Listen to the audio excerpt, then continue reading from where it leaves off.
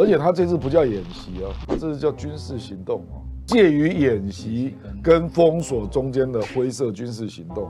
比如说他南部离那么近，对不对？他突然之间转成攻击，他就登陆了。上次九六年，你记不记得中方宣布演习嘛？美国大老远开了两艘航母来，台海这个和平稳定。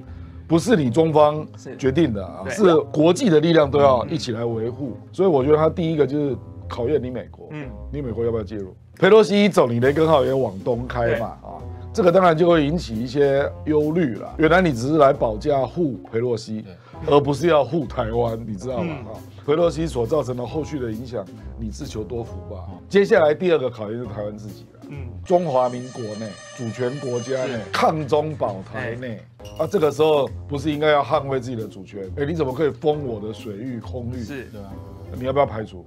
蔡英文刚刚刚刚做了发言嘛，说这种行为没有必要。要自立自强啊！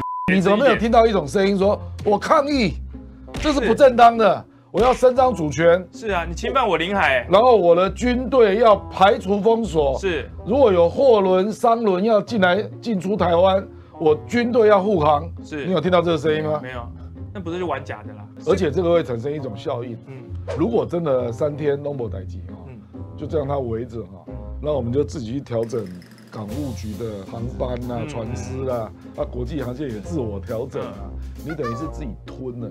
吞了就意味着他以后可以再来，就是两岸的军事行动从此升级，它变成一种新的常态，它不会恢复原状那他就会认为说，哎，这样是有效的，马博兰控议啊，啊，台湾也没辙啊，所以现在是三天嘛，嗯，我跟你讲，这种灰色军事行动是很危险的。我们现在是有点运气好，我们现在是刚好有两艘 LNG 船刚好停泊在台湾啊，以后如果是一个礼拜啊，你刚好没有船在现场。